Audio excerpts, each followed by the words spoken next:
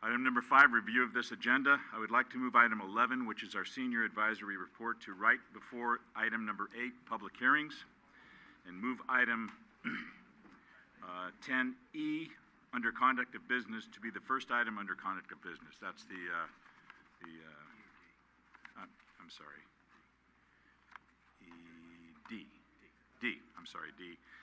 Under conduct of business to be the first item under conduct of business, which is the recology issue. Anything else on the agenda? Okay.